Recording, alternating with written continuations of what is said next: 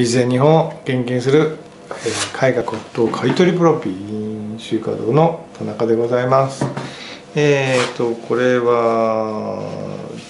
ちゃん伊藤若冲ですね。はい。もう伊藤若冲っていちいち説明しなくてもいいぐらい誰でも知ってますけどね。伊藤若冲といえば江戸時代のまあ、なんていうんですかね。うまい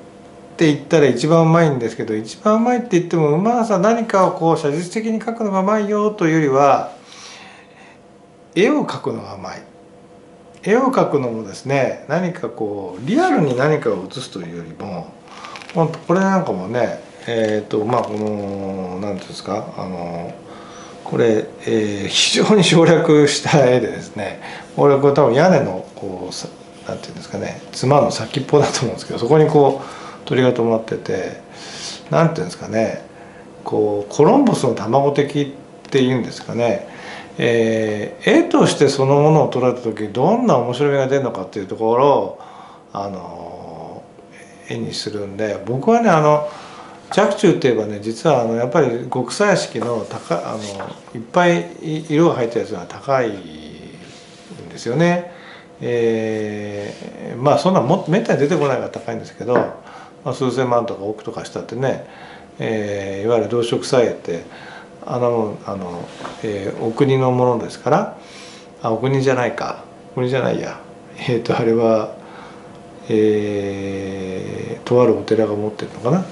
あ違うわ。えっ、ー、とあそうお国が持ってますね。はい。えっ、ー、とまあとにかくあの売りに出ることはもう絶対ないんですけどえーまあ、そのシリーズよりもやっぱあのモノクロ墨絵画で結構ね素敵なんですよね。これねジョー・プライスさんが、えーと、昔展覧会やった時にたくさん展示して皆さんご存知だと思うんですけど、まあ、基地に富んでる作品ですね、まあ、現代で言えば南辛坊とかね杵とかあのあの省略された世界、まあ、あれをちょっと放出させるかもしれません、えー、そういうまあその弱中の世界。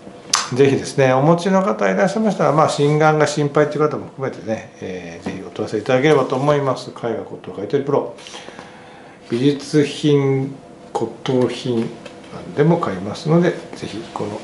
フリーダイヤルかこの QR コードまでご連絡ください。よろしくお願いします。